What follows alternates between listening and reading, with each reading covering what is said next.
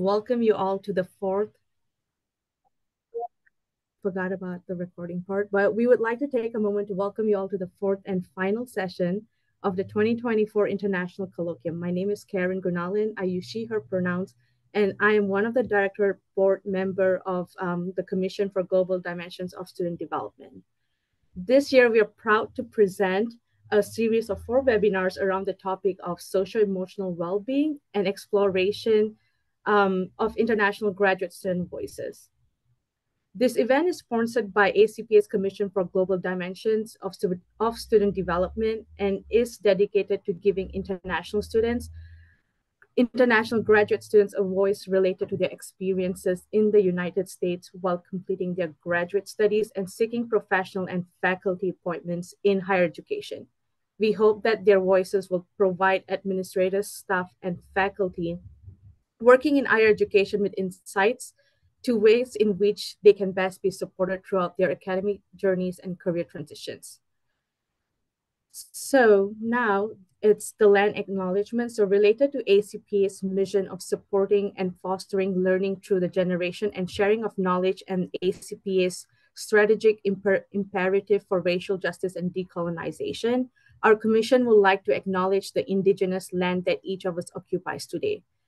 Thus, we would like to invite everyone to acknowledge the ancestral homelands they are physically situated in today.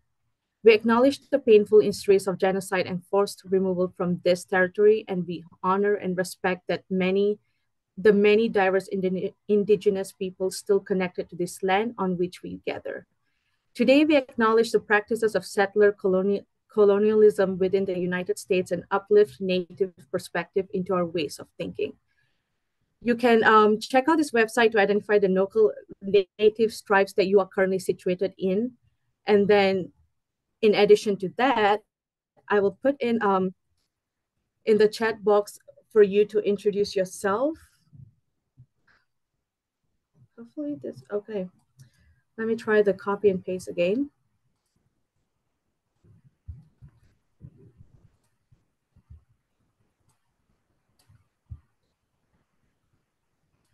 Okay, so you can share about yourself, where you're coming from, and the tribes that you're located in. I will pass it on to Tamayo, one of the director Red board member. Thank you so much, Karen, and thanks to the folks who are engaging in our chat. Um, my name is Taijo, pronounced Hide. Uh, I'm a directory board member at CGDSD. I currently work at Drew University, which is located in Madison, New Jersey. Today, I'm excited to share that our commission is actively recruiting new directory board members. Um, involvement in directorate provides you the opportunity for ongoing uh, engagement with colleagues that shares the same interest in international education and cross-cultural learning. Um, we have up to 11 opening positions, so please check them out. The application deadline is Monday, May 20th, which is around three weeks from now. Um, if you want to learn more about the applications, the info sessions that we host, and the other related information, it can be found on our link tree. I will share the link in the chat as well. Um, finally, I would like to also share that we are raising funds to support the convention travel um, convention travel for international graduate students. We hope you could consider uh, for to support our commission's fundraising campaign, help us reach our goal of $1,000 before the ACPA 2025 next year. Um, we will also have a link for that. I will post that in the chat. Please, if you know a graduate student who are interested in the travel fund, uh, ask them to also follow us on social media so they can apply next year. Now, please uh, welcome our faculty in residence. Thank you so much. My name is Marianne Bodine Al Sharif, and I'm an assistant professor of higher education in the Department of Human Studies um, and uh, Human Sciences here at the University of Alabama in Birmingham. I'm also currently serving as the faculty in residence for the Commission for Global Dimensions of Student Development. So before we begin, I'd like to take a moment also to give you the land acknowledgement for my institution. The University of Alabama at Birmingham sits on the unseceded ancestral homelands of the Muskogee Creek Nation and the Chaudinis Tulsa or Shawnee people. We acknowledge the forced removal, genocide, and systems of oppression that have dispossessed Indigenous peoples of their land, and that white supremacy and settler colonization led to the destruction of the original Indigenous homelands and its people. We are, are dedicated to continuously working to educate ourselves on Indigenous histories and will do our part to honor and respect the diverse and beautiful Indigenous peoples who are still connected to these lands today. Today, I have the honor of introducing our uh, colloquium session titled Our Journey to Career in Higher Education. We have two presentations for this session. Our first presentation features a duoethnography by Xiao Yun Sim, Assistant Director for Employer Engagement at University of Chicago Pritzker School of Molecular Engineering, and Yuan Zhou, uh, Director of Residential Living at Sul Ross State University Alpine Campus. Our second presentation features the critical narratives of Dr. Bo Zhang from University of Hartford and Dr. Kayon Morgan, also from the University of Hartford. We will hold questions till after both presentations have completed. And at this time, I'll turn it over to our first presenters. Okay, hello everyone. Happy Friday. Let me get my screen going. Don't forget to put in the chat who you are. We would love to get to know you all as well. Um, and so thank you to the Commission for Global Dimension Student Development for having us. We're super excited. And just real quick, we will be talking about, because um, I like our title as well, so I'm just gonna say it. Um, title is What are you looking for in a candidate? The candidate, the career search process for international students in higher education, student affairs. And once again, my name is Yuan Zhou. My English pronouns are she, her, and hers, and currently I'm at um, Sul Ross State University. Hi everyone, my name is Xiao Yun Sim, she, her pronouns. I'm currently at the University of Chicago.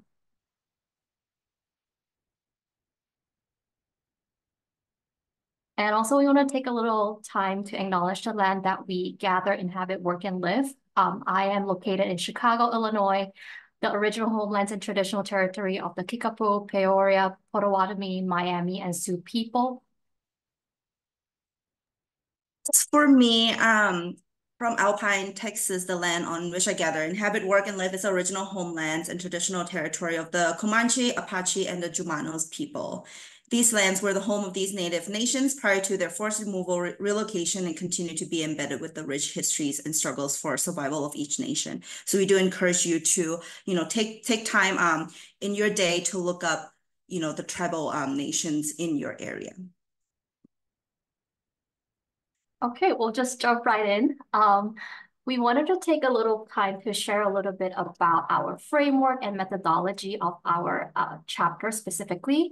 Um, we picked the Schlossberg's transition theory because it explains an individual's ability to cope with a transition, which are influenced by the four S's of situation, self, support, and strategies. And in our narratives of international uh, students' job search process, I also want to acknowledge that when me and Yuan were writing about the chapter, our narratives, we were reflecting back about our time as an international students going through the job search process. So you'll hear us um, using the term we, us interchangeably throughout this presentation because we still in some ways reflect back to the time that we were a former international student. So coming back to our narratives in observing and kind of talking through our job search process, the four S's that were just previously mentioned, uh, situation support, self, and strategies were observed as we engage in the different transitions. So um, later on in the presentation, we will talk a little bit about how we transition from post-graduation to navigating the job search process, negotiating the job offers, and kind of managing our personal expectations and the in the process, and as well as us stepping into our full-time career. Yes, and just a little bit about our um, methodology, methodology too. We were intentional in choosing the dual ethnography um, and the consensual qualitative coding because we want to make sure that this is, as we were doing research on like, okay, which way, which angle do we want to go into? This is the best um, way to capture our narratives as it allows for an engaged dialogue and critique on the social phenomenon, which is the job search process, which we, um, that are shared by the two of us. And we did all of this um, process together as well. Okay, jumping into our job search journey, focusing on the career readiness during graduate school. Um, as you can see, like I'll talk about the first bullet points of like a checkbox of job skills, but there's an X on job navigation skills. So what do we mean by that? So through our uh, conversations together and how we um, identified the uh, similarities of me and Yuan's uh, um, process of career readiness during graduate school is that we identified that we definitely developed job subs, uh, jobs search skills such as like you know leadership, communication. However, when it actually came to like job navigation skills of the actuality of the job search process, there were a lot of nuances that we did not know as an international application, specifically seeking jobs in higher education student affairs. So, you know, one might say that it's a similar job search process for an international students who want to work industry or work in corporate. However, I would say that there is actually a slight difference when it comes to applying for jobs in a um, higher education or university versus working in corporate. And in my graduate program, I was one of the handful international students in the program. And when it came to career development or navigating what job search could look like, I would say that my program did not offer a lot of robust support. And they only, my program director just kind of referred me to speak to the career center at that. And that was back in 2019, 2020, also during the heighten of uh, the pandemic.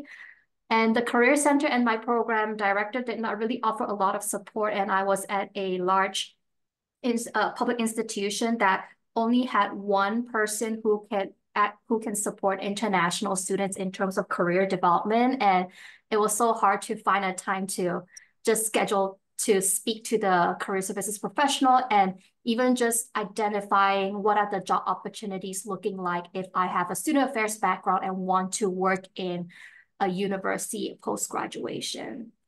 And I would say that like, you know, the questions that I ask myself, even though I have the jobs skills in terms of like being having an internship, having work experiences, but when it came to like navigating the job application process, I don't have any idea or where can I get started with. And just the simple question of like, how can I talk about the visa process in my job interview or how do I navigate the sponsorship question in the job application was also things that I was clueless and don't know where to find answers about when I was in my graduate program getting ready for job search. And going off of that as well, I feel like um, we we think that the, the best description for the support that we receive are one size fits all, and they're mostly you know geared towards our domestic um, classmates, right? Just let's talk about that. And so the advices are pretty blanket statements. I feel I believe that you know when I was going through my um, search process was around the 2016 2018 so around that time um, as well that you know, the a lot of this um, feedback that I received are like, hey, let's just, you know, get excited about the job search. Let's do it. You know, if you, it's okay. You don't like your first job, you don't have to be in it forever. You can change right after. If you don't like this job, you can like um, change it for the, you know, in, in the next semester, in the next year. And I was like, oh, okay, that's right, that's right. But then once I started learning about the visa process and things like that, that we have to think about right on the back end, I'm like, hmm, it might not be that easy. I really need this first job to be hopefully something that I enjoy, right? That I would stick for it long term. So I can prepare for that. It's a multi-layered visa conversation. And so we're not just planning for our first semester or our first year postgraduate. We're thinking about, right, that first three years or that five years, depending on what that um, visa timelines looks like. And um, that last bullet of needing to seek external support, um, I was the only international student in my cohort, and the one above me, there's only one, and the one above me, there's also only one.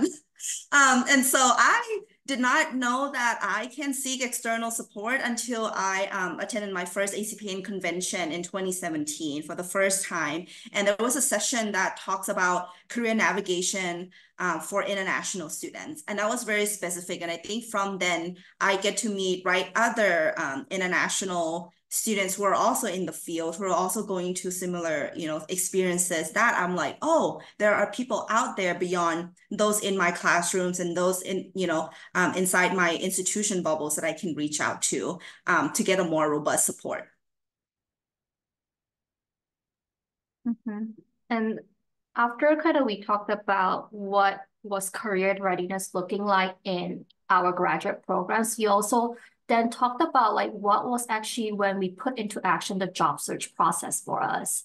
So Yuan talk about that, you know, she experienced kind of like the, the vibe of like a one size fit all career search process or preparation, but in reality, that was not the case for us. That, like I mentioned earlier, there were a lot of nuances that goes into it. How do we actually prepare for the process? And as you can see, like the first bullet point, I just noted down like additional research and information gathering. So a lot of times, like we, um, I said we because I, I, I work in career services. We tell students that you need to research about the company that you are um, uh, applying a job for or preparing for interviews about, which that's the same case for international candidates as well. We I and Yuan, we went through that process of researching um, the institutions that are hiring, uh, have higher international uh, professionals before. And oftentimes for us that when we research those informations and policies from institutions, there are a lot of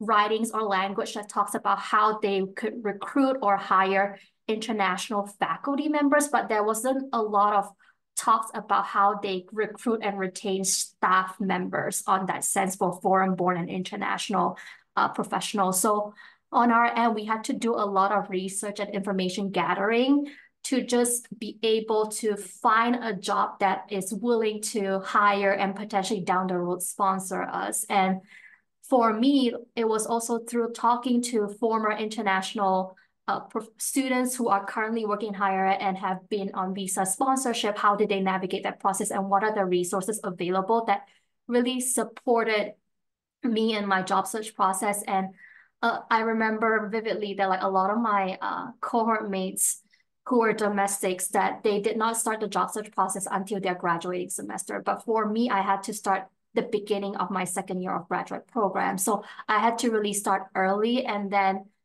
talk jumping ahead to the third bullet point of a little bit about like how do I manage my expectations? Because like I need to manage expectations of like I receive a great degree for my master's in this program and also the reality of like it's the pandemic. How can I find a job? Can I do I just return to my home country? And how does that translate back? Like what are my skills that translates back to my home country if I uh, want to stay in student services? So really managing my expectation and the reality of potentially not getting interviews, not getting a job, um, as well as um, the visa sponsorship process.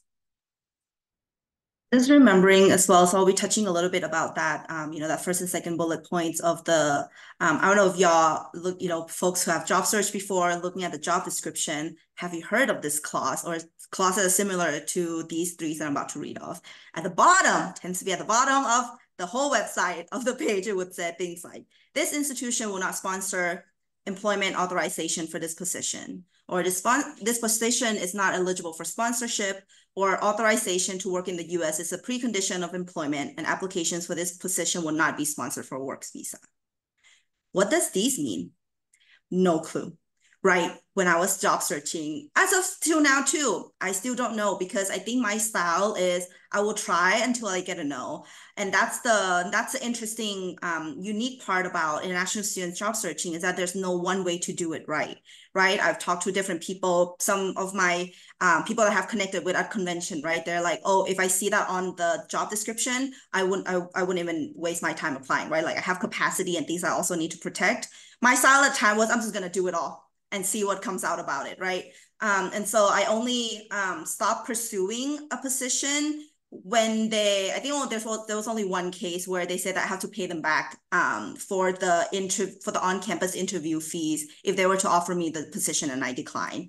And I asked them, right, hey, are you gonna do you provide sponsorship in a nice way, of course? And they said no. So then I'm like, oh, the risk of me going, getting the job, having to decline it, not because I don't want the job, is because they're not going to sponsor me, right? Then I'm like, mm, that's kind of outweigh the, the financial piece of it. So I end up declining that one. Um, but I think it's just the piece of the navigating that difficult topic of sponsorship during interviews as well. There's so many different strategies. Even I have different strategies. Um, I've job searched twice now, and the the strategy I use the first time and the second time is different.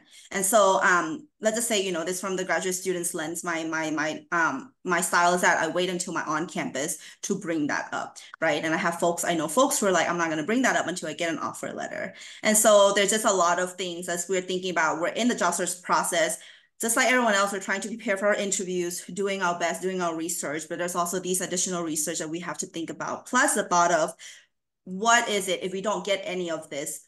What are we losing, right? We're losing not just the ability to stay in the US, but also all of the thing that we have built for ourselves, right? Our social capital, like everything that we have. If we need to leave this country, those are something too that we always constantly are being reminded of, right? Mm-hmm.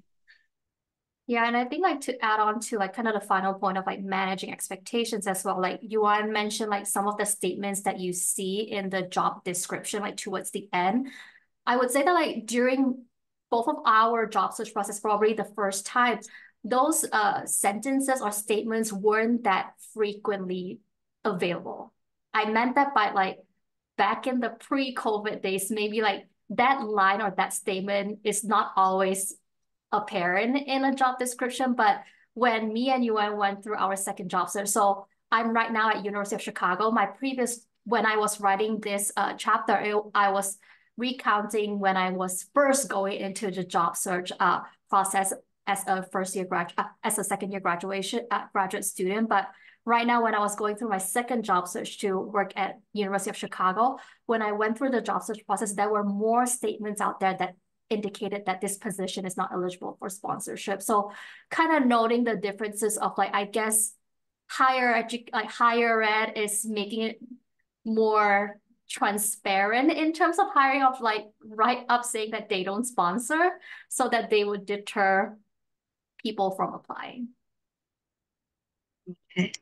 So then next one we're going to talk about is the job search formula I think that's why y'all might be interested in coming here, right? What's the job search formula Yuan Xiao Yun for career placement and on the job? So let's see if any of this sounds familiar to you all. Feel free to react in the chat. Having work or relevant experiences such as, you know, your uh, graduate assistantship, internship, you know, all of that experiences, right? Important. First thing they tell you in grad school. Plus, right, networking, making good impressions, super important plus a good fit for the institution. This fit thing always comes up when we're starting to do interviews. Um, so this seems right. People could agree, probably. Um, a fake nod is okay too. Of you know, these are the three things that they tend to right prep um, students in the in graduate programs. But funny thing is, still no job, or no job. Uh, you know, getting a job without security, and so we're just you know, wanted to bring in humor into this too. You know, this is a stressful process. we just want to say that there's a disclaimer of we've been preaching about there's no one size fit all advice. There's also no one size fit all in job search process. Um, and so as you hear us talk about our experiences too, we also wanted to remind everyone that there is more to this. There's more to the international students experience. We're also not one size fit all as well. And so there are different priorities and needs for each individual. So we do encourage you to, you know, at, um, aside from listening to our stories to also, right, um, learn about other folks as well. Because there are, um, you know, we are you know Southeast Asian women, and our um, our experiences would be different from right international students who are from Africa or people with family or um, international students who are mothers, things like that. And so there's just a variety of us out there too. So we just wanted to put that disclaimer.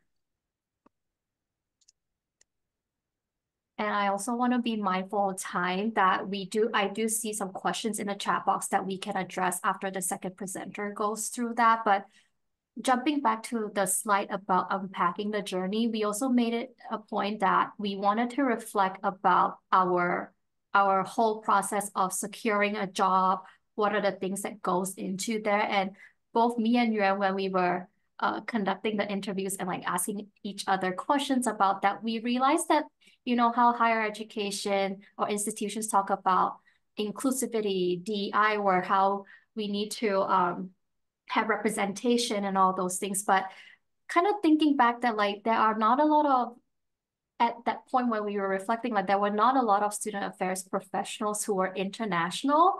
And when we as international students wanted to like look for support and services, oftentimes the staff members are not prepared or well educated to support us or understand the nuances. So, you know, the irony of what we preach of like how staff that doesn't really represent the student body that we have at institutions. And oftentimes a lot of job postings that are out there that are recruiting people that doesn't actually have us um that we as international candidates apply that does not actually lead to job placement as well as how with the great great resignation of um, higher education, a lot of staff members are leaving. So how can we uh, uh, focus on like hiring international candidates and offer them visa sponsorship that in some ways that we can be better retain employees to um, stay in the field.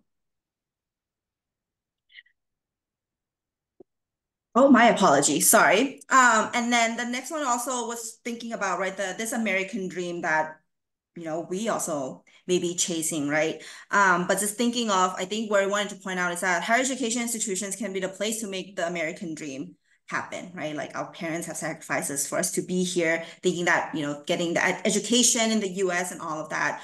Um, and we said higher education institutions because it's uh, considered nonprofit, so we are not under the H-1B cap exempt, meaning that, right, they we don't have to go through lottery system uh, for those of you who, who may have um, more information, more understanding about that piece. Um, but so it could have been like a good job security, right? Like of, hey, if the institution wants me and I want them, we're good because I'm not under the lottery that I might need to be under the hand of the government to say, I will, will I get this visa or not? But we're still having, you know, we're still facing all of these barriers and this lack of um, both salary and visa sponsorship transparency and this and this awkward dance sometimes that we're doing during interviews with our employers trying to figure out what is it you know are you will you be able to provide me that sponsorship hmm. And also wanted to encourage folks to like really focus on like the strengths that we bring to the table. Like we understand that like maybe your non-negotiable is a visa sponsorship when you apply for a job but really focusing and honing on like can you network with the hiring manager beforehand? Or like can you network with someone in the department beforehand to gonna get the a sense of the sponsorship willingness before applying for a job? And like when you're interviewing really focus on like what you bring to the table rather than like focusing on what on the deficit model of like I need visa sponsorship. Focus on like the experiences the skills that we talked about earlier of like that you bring to the table. And then while navigating the visa sponsorship conversation throughout the interview with the um, hiring manager. And really fo- and also the importance of finding your own community. Like you mentioned like she went to acpa and found her community. And for me as well too i was a first year graduate student attending acpa and that was when i first knew that there were other international students who are working in the field and have been have been sponsored that gave me hope and want and, and encouragement to want to find a job and stay in the field.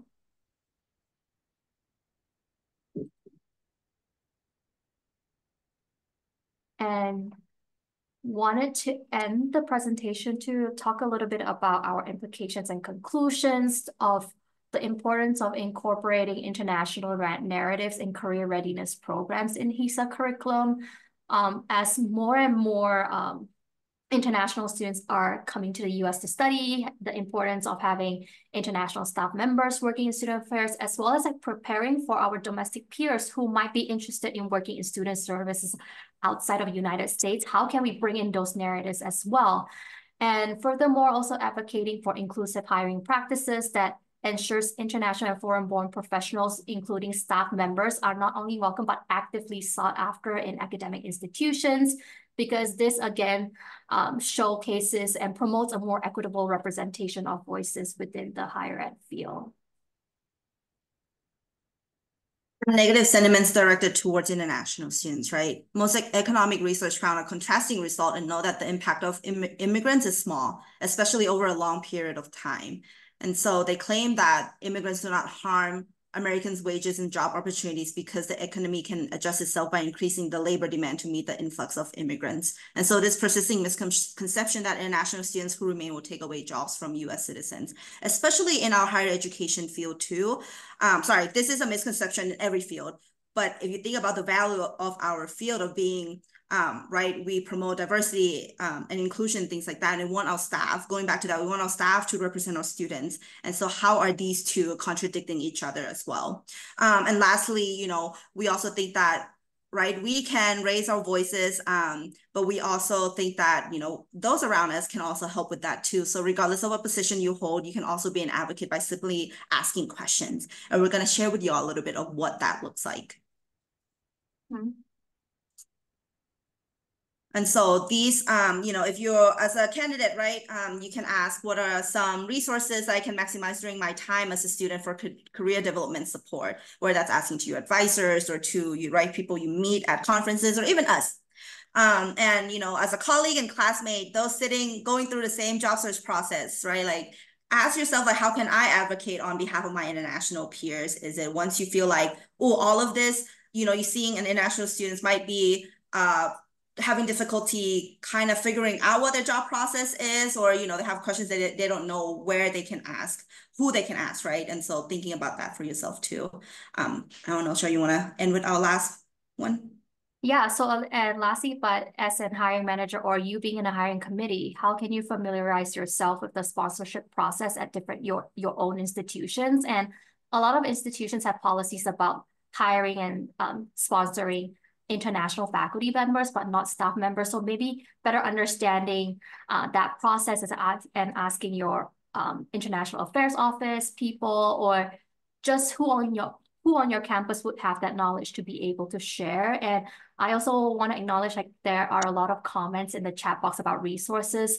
Uh, our commission I said ours, CGDSD has a great uh, uh, representation of international folks working in higher education that would serve as a great resource. And um, Dr. Bryans, who shared about like the uh, USCIS website is also a great resource. And knowing that if you do a quick search, universities are going to show up that they do sponsor, but we need to acknowledge that a lot of them are going to be professor roles. So you want to ensure that when you're looking at information that if you're looking for a university that sponsors, take a look at the position titles that they sponsor. Are they all just faculty roles or do they include staff positions as well? With that being said, oh. Yes, we're gonna wrap up our session. And so um, I know we have questions in the chat. We'll take a look at it. There are also Q&A questions afterwards as well. So we're gonna turn it back. Thank you, everyone. Thank you, guys. That was great. And we're going to go ahead and usher in our second presentation. So if you all want to take the screen, it is all yours.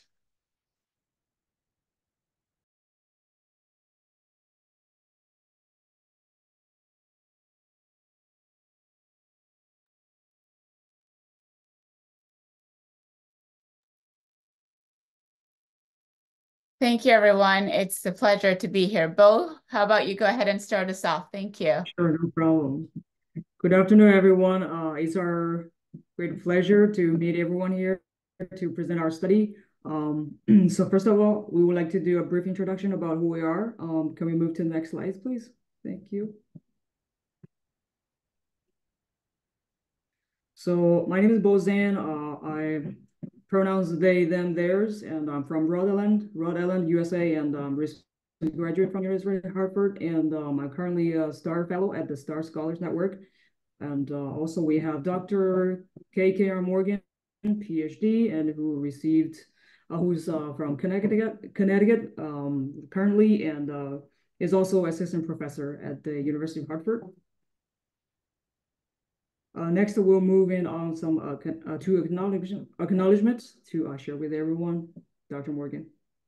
Thank you, everyone. I know that we don't have much time and we want to facilitate your questions. So we just want to also do acknowledge the land on the ancestral homelands on which uh, we both sit and I also want to do a labor acknowledgement as well, because we want to respectfully acknowledge the history and forced labor of Black Americans. I'm connected based on my identity to my husband, who is an African American. And so it's also important to me to acknowledge the exploitation that has happened in this nation based on our identities.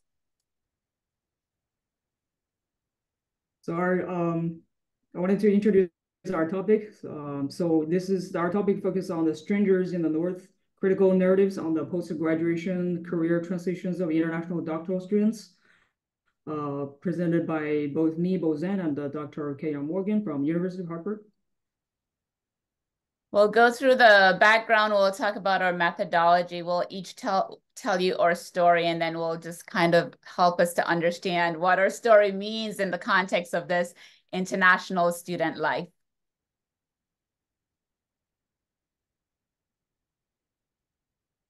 According to data in 2021, um, according to data in uh, 2021, the U.S. hosts 20% of the world international students at all academic levels, among whom uh, many of them pursue doctoral degrees for their future employment or employment-based permanent residency uh, or uh, immigration to the U.S.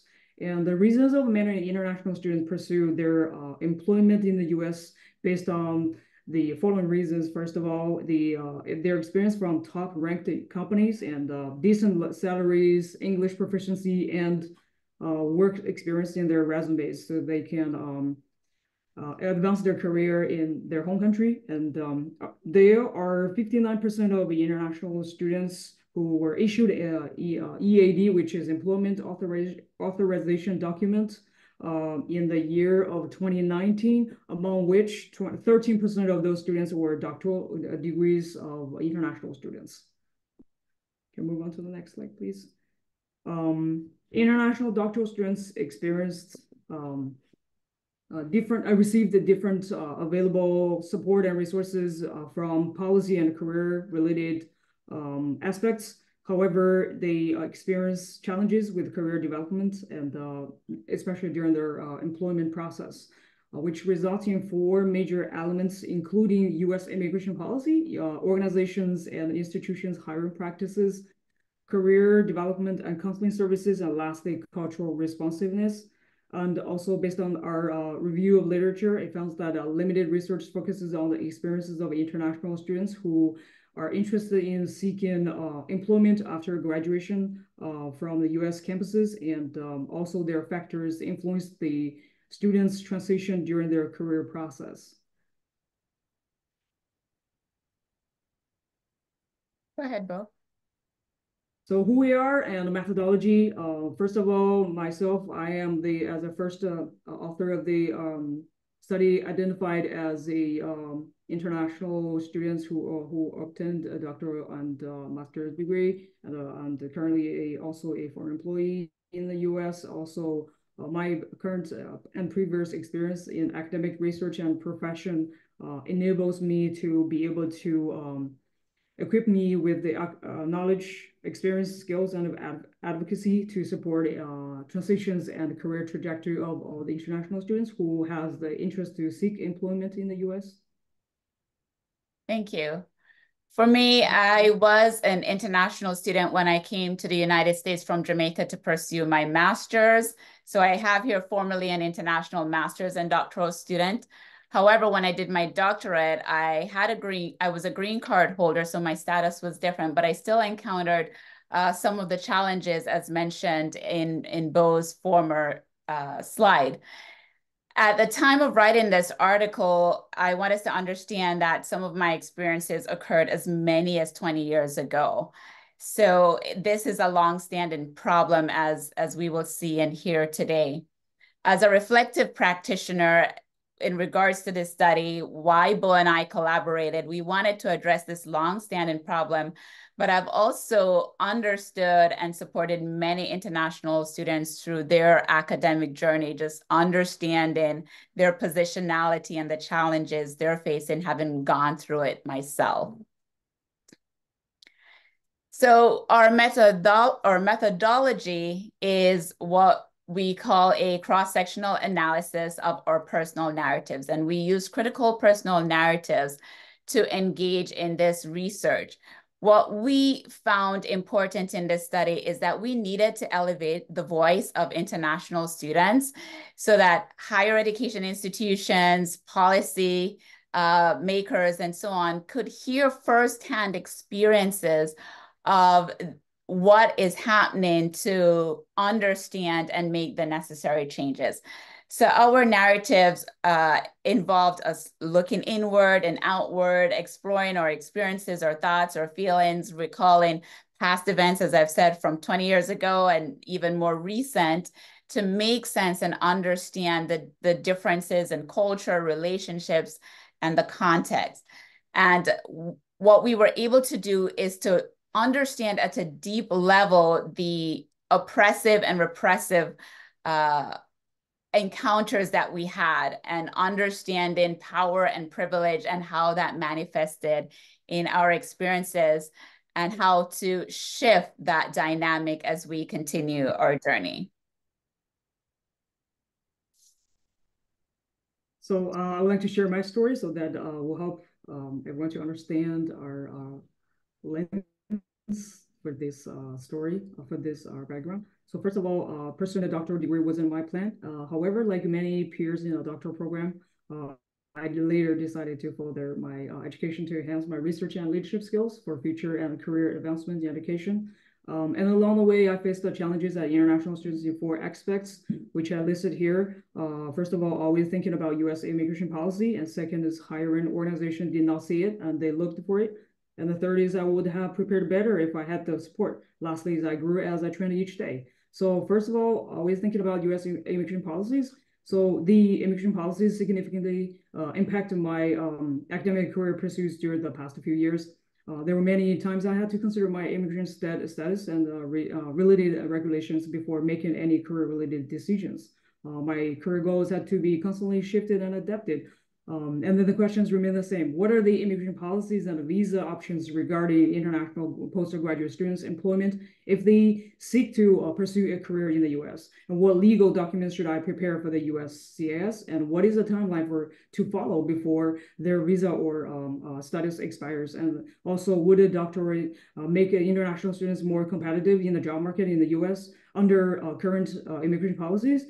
The US immigration policies and regulations are complicated for me as an international student, and it took years to learn, understand, and prepare, and um, for me to find resources such as uh, the uh, attorneys and uh, the policy, immigration policy also remain the uh, the main uh, concern um, by the time. So uh, it affects, it deeply affected my career decisions and transitions. Oh, so the second aspect is the hiring organizations did not see it, that they looked for it. So it took me some time to understand and um, to understand and familiar, familiarize myself with the job application and the interview process in the US. There were many jobs for which I met the criteria posted, but they were not given a chance. Um, uh, they, I was not given a chance to because for interview and also because of my status as I uh, as an applicant who from a foreign country and the um, algorithm of the system seemed to have immediately eliminated my application. I remember there was one time I submitted my application after three minutes. I received uh, uh, a, a, email. I was uh, su surprised because I thought there was a response that was so so quick, but eventually I found out there was a there was a decline email says you are not qualified. So I was uh, quite surprised as our first experience. Experience.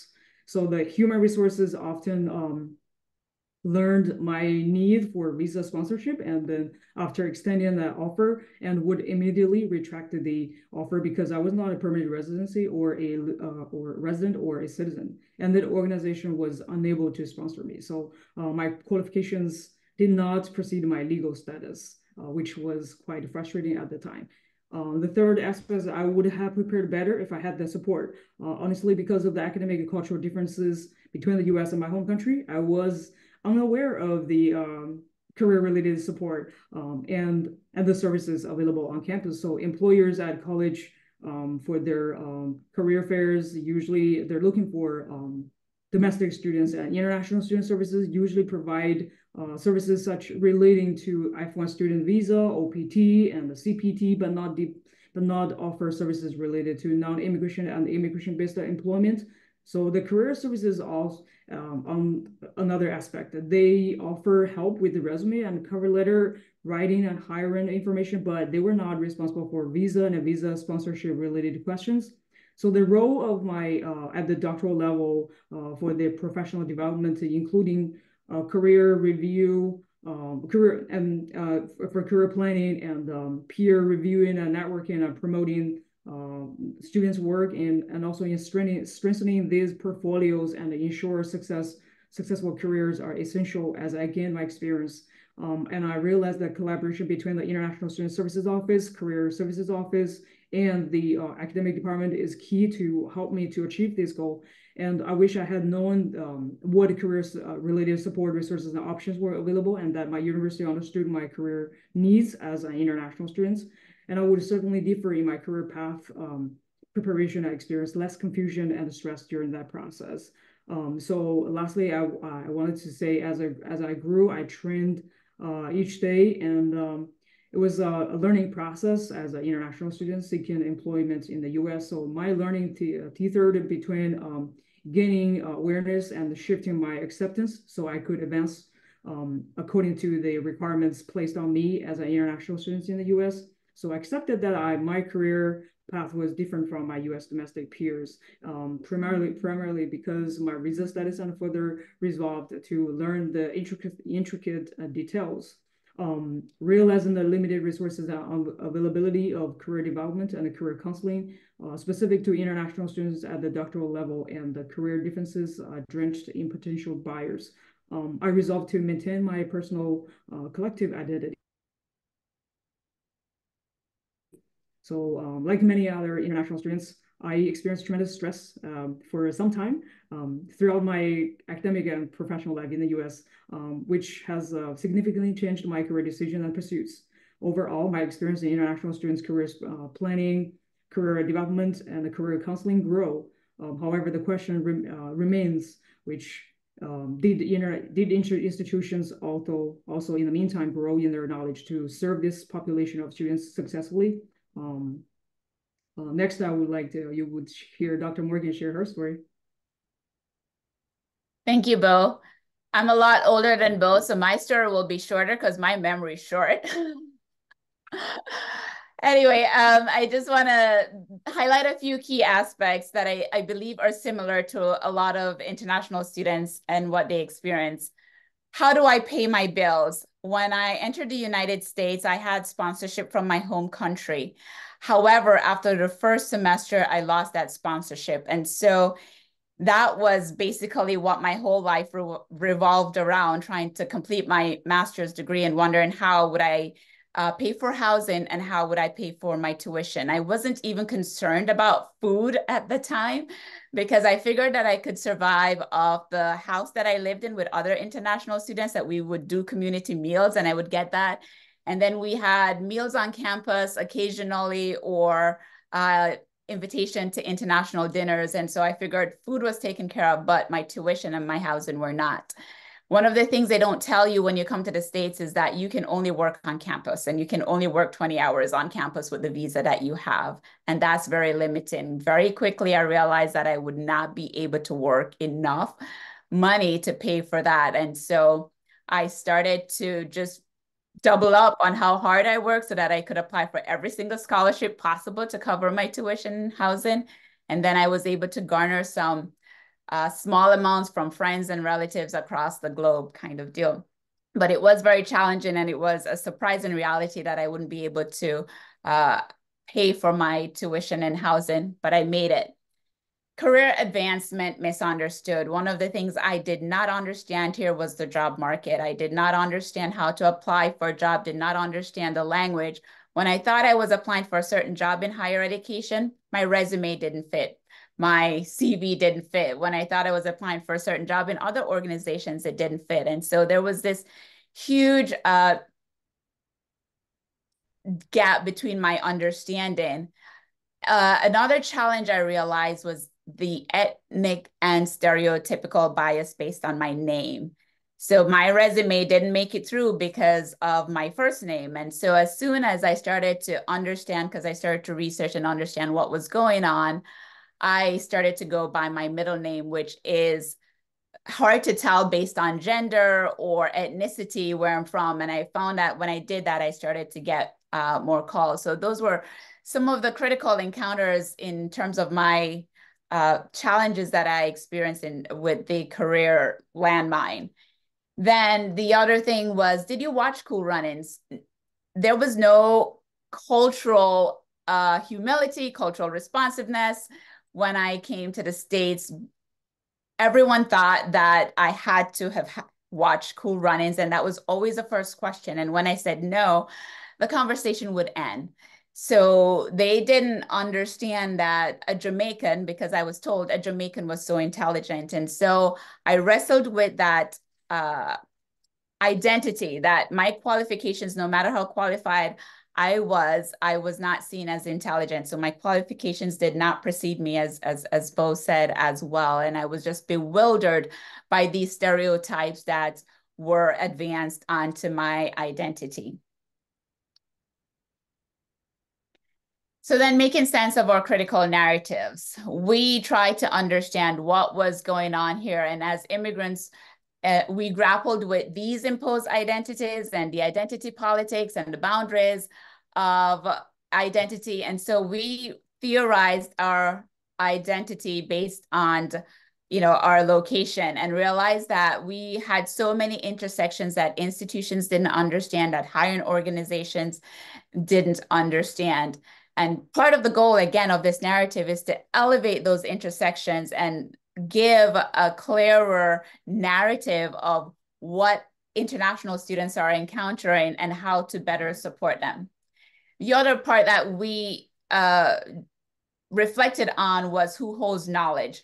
And we realized that we were expected to know and understand and have information about information that we were not given. So immigration policies, there were all these hidden curriculum, all these hidden rules and so on that we didn't understand. Uh, financial aid, the same thing, not being able to get financial aid. So, and there was this knowledge that was held by a, a certain few that wasn't shared in ways that we could interpret or understand. And so we advocated for that knowledge needs to be shared. It needs to be a collective knowledge, and that also our knowledge needs to be valued in the space and not just the knowledge of uh, the institutions or organizations or immigration and how they exist, but it needs to be a collective knowledge in order to dismantle the power and the hierarchy that exists um, in terms of international students and, and uh, their immigration status. So the significance of our, our uh, stories, um, we would like to, first of all, the um, our the critical per, personal narratives amplifies international doctoral students' voices and also foster identity and connection uh, of students and the stakeholders. Um, these narratives also have the potential to inform uh, policy recommendations, also enhance the training for hiring uh, committees from organizations and uh, institutions also strengthening support from institutions. Um, also, it provides hope and aspiration to international students to guide themselves through the shared understanding and the knowledge in this um, perspective. Uh, also, it recognizes narratives as form of knowledge and study. Um, they emphasize the importance of confronting these challenges and uh, also seeking for uh, those resources in cultural epistemologies and identities uh, lastly, they are authentic recognition of challenge challenges faced by uh, international students requires facilitating first-person accounts to finally uh, address this area to better support international students in the U.S. And that Thank ends our and, uh, presentation. Thank you so much for listening. Um, please let us know if you have any questions. We would like to um, glad to share our um, experiences with you? Thank you all so much. So we're going to open the floor up to ask a few questions. We have about four minutes. Um, so we'll, we'll spend the next two minutes doing that and then we will wrap up. So maybe just one or two questions. So if anyone in the audience has a question, please feel free to turn on your microphone and ask that question. It looks like most of our chat box questions have been have been responded to.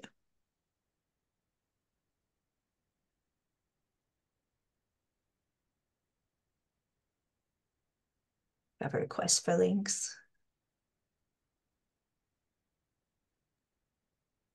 Sorry, if there's no, I know that we're talking about like a lot of things that we're going through. I just want to say a word of encouragement. You're not going through this by yourself. You have people out here who are, you know, we're cheering you on. I don't know who you are, but it's hard and I get it. You might not have people in your cohort, but as people are thinking about questions, but just want to let y'all know they're good, they're good things too. This, you know, relationship and friendships that I, you know, received going through this job process. And so just want to encourage people as well. I'll put that out there. Thank you. I think I would also like to chime in really quickly. It's like the job, the landscape of the job market of higher ed has changed so much when I think probably when Kayon was going through the job search process, me was going, I was going through the job search process, Yuan and Bo as well, that it's so different right now that there were there are so many more resources and support available for international students who want to go into faculty role or you know work in the practitioner route or just in you know corporate industry. So definitely like it looks the outlook is way better than when I was going through the process just a couple years ago. I agree, definitely, for sure. There's a lot more resources. And even if it's not within your own institution, like my colleagues say, seek it out. You know, don't go through this alone. Uh, not all institutions have the same types of resources. And so we also have to consider that and give grace and kindness to the different organizations that exist, but do not do this alone. Even the group that is here now, uh, make note and see if you know you can touch base with other persons to see what resources are they tapping into and what's available and how can you have access to, to those resources. So um, one more information I'd like to share with everybody is that uh, please also feel free to check out my uh, dissertation uh, titled Exploring International Doctoral Students' Experiences Seeking Employment uh, Using uh, in the U.S. using grounded theory. So I think there are a lot of information that might be helpful, but also I wanted to share that during my interview with international doctoral students, the uh, challenges often exist to everybody and also your challenges might not be the same as others so it is always important to seek out you know for help and also see the peers who might have the similar experiences with you so you can uh, find the direct support but also realizing the importance of your academic uh, departments at the at graduate level. They are so important than the resources that you might need from international services and also the career services office.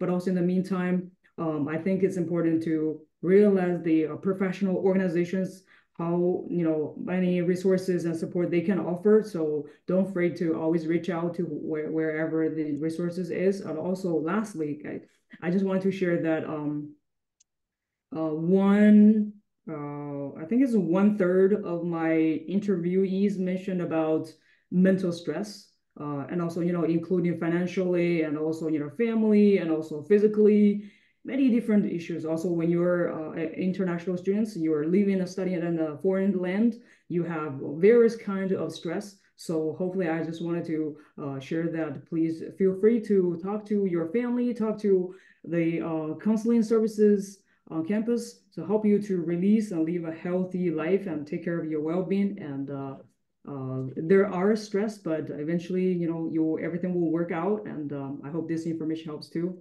Uh, glad to meet everyone. Thank you. All right. So guys, unfortunately, our time for today is coming to an end, um, but we would like to take a moment to thank our presentations. Um, uh, today, our presenters and our audience for giving us their time and commitment to this work. This session also concludes the 2024 International Colloquium, and we hope that the information shared in all of the sessions um, have provided you with insights to the graduate international student experience, as well as ideas on how you can better support graduate international students throughout their academic journeys as they transition into their careers. Thank you all so much for your time and for being with us. I'm going to share my screen, give you a little bit of information as you head out. Please um, enjoy the rest of your day. Thank you so much. Thank you.